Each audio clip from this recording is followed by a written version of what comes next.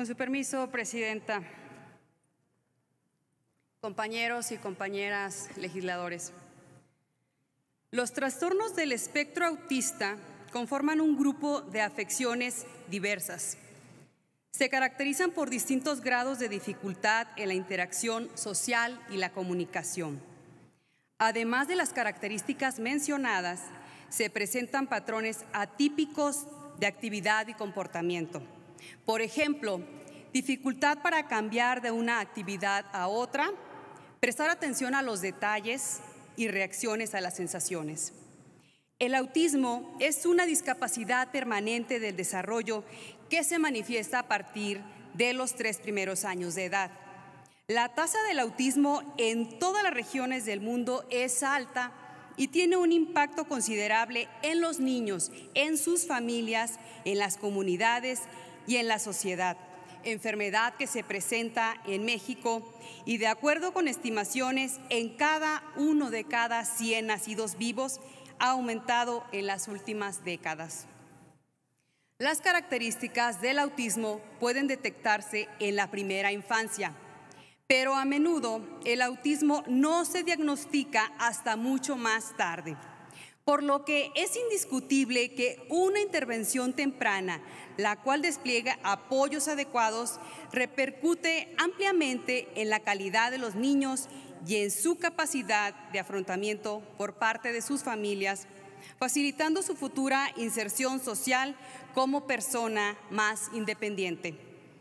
El cambio y mejoría del autismo depende necesariamente de la detección muy pronta de las señales de alerta relacionadas con la condición. Idealmente, esta detección debería producirse dentro del primer año de vida. Es entonces que para Morena, impulsar el pleno reconocimiento de los derechos fundamentales de cada individuo, especialmente los que se encuentran en estado de vulnerabilidad, ha sido tarea primordial de nuestro quehacer legislativo. En innumerables ocasiones desde esta tribuna hemos defendido el respeto, la no discriminación, la igualdad, la equidad y la inclusión. En ese sentido, y refrendando nuestro compromiso de salvaguardar los derechos de los más vulnerables, someto a su consideración la iniciativa por la que se reforman diversas disposiciones de la Ley General para la atención y protección a personas con la condición del espectro autista.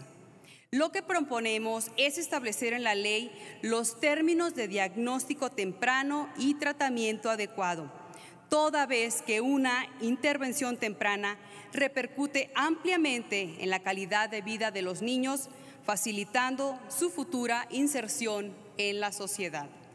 La iniciativa prevé, además, prohibir que niños y jóvenes sean víctimas de burlas y agresiones que atenten contra su dignidad y contra su estabilidad emocional, ya sea por parte de maestros, de compañeros o de cualquier otra persona dentro y fuera del plantel educativo, ya sea público o privado. Solo así México podrá ser un verdadero país de oportunidades con una verdadera visión social. Muchas gracias. Es cuanto, señora presidenta. Muchas gracias, diputada Alemán Hernández.